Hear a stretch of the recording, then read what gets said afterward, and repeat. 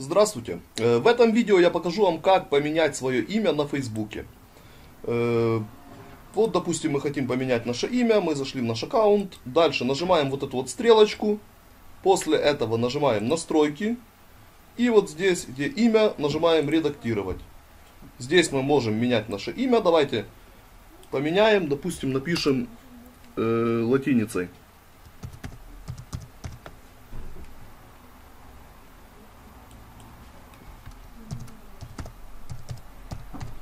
Вот.